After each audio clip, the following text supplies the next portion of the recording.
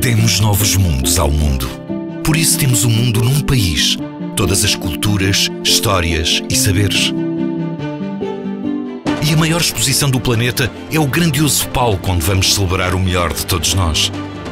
A oportunidade de dar a conhecer tradições milenares. A mobilidade que é a celebração de movimento e coordenação. A sustentabilidade dos produtos artesanais.